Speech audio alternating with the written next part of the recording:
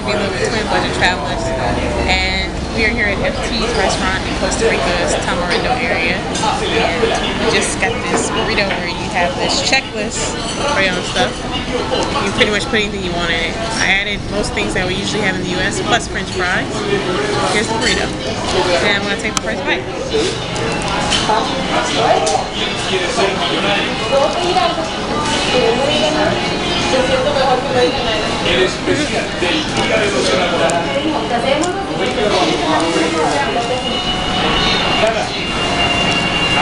It's tasty. I wonder what sour cream is. Alright, until next time.